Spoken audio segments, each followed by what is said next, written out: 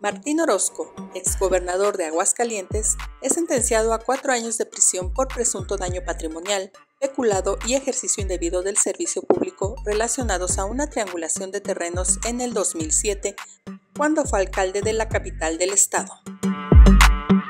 Hamas libera 24 rehenes, 13 israelíes, 10 tailandeses y un filipino, que habían permanecido cautivos en Gaza durante semanas, lo anterior como parte de una primera etapa de canje de rehenes con Israel, en virtud de un acuerdo de alto al fuego de cuatro días.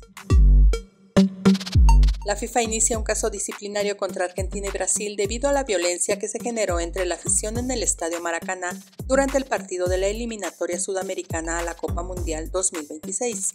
La Federación de Fútbol Argentina fue acusada de disturbios del público y la brasileña por errores en el manejo de seguridad para el encuentro. Bad Bunny comparte el video de él interpretando el éxito de Mariah Carey, All I Want for Christmas for You, con la inteligencia artificial, pese a la polémica que desató el puertorriqueño al expresar su desacuerdo con el uso de la IA en la creación de canciones.